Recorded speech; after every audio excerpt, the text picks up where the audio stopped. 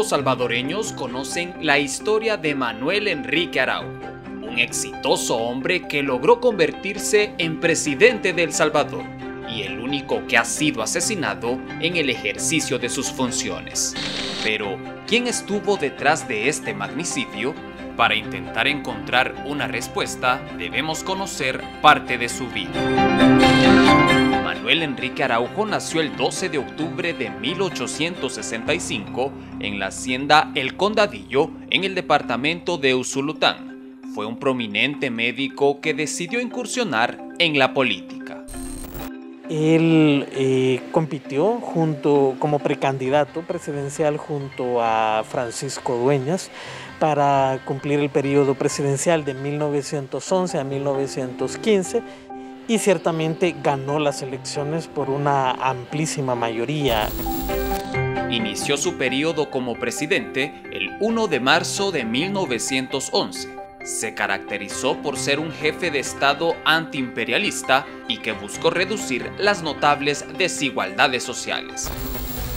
Eso obviamente le acarrió a él no, no una simpatía, no, no se ganó la simpatía de las familias acaudaladas, pero sí, por supuesto, de la gente del común. Días previos a su asesinato, nadie sospechaba lo que iba a ocurrir. Ese fatídico 4 de octubre quedaría marcado en la historia de El Salvador. El presidente Manuel Enrique Araujo, como un día cualquiera de este palacio precisamente en el que nos encontramos, terminando sus funciones de, en su despacho presidencial, salió a la plaza a deleitarse con la banda. Él se sentó en una banca.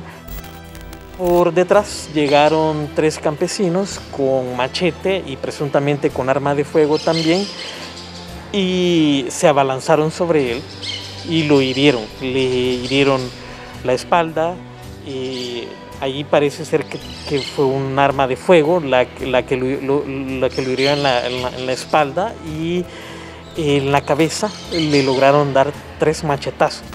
El entonces presidente Araujo fue traído al Hospital Rosales para ser operado en un intento por salvarle la vida. Sin embargo, cinco días después se confirmó su muerte. Sus restos fueron sepultados en el cementerio de los Ilustres, mientras que los tres campesinos que perpetraron el crimen fueron fusilados días después. Sin embargo, a más de un siglo del magnicidio, no se conoce quién fue el autor intelectual. Según parece, las investigaciones no, no, fueron por el camino correcto, no se profundizaron y pareciera que lo único que se quería era cerrar el caso cuanto, en cuanto fuera posible. De tal suerte que al día de hoy no sabemos exactamente cómo se orquestó ese magnicidio y, quiénes fueron los autores intelectuales. Aunque eh, podemos saber que, él no gozaba de las mejores simpatías entre los acaudalados de la época, eh, ni entre eh, los estadounidenses e incluso ni entre los guatemaltecos. Una de las principales calles de San Salvador lleva el nombre del expresidente Manuel Enrique Araujo, la cual conecta con la Plaza Salvador del Mundo.